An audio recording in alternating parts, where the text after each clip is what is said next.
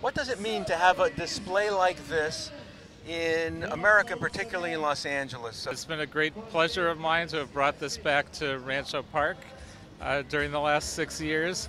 Uh, we love working with uh, the Israeli Council and making this happen.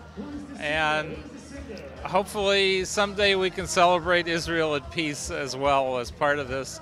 But in the most diverse city in the world, the city of Los Angeles, it's very exciting to celebrate uh, Israel's independence and to celebrate uh, the existence of the State of Israel.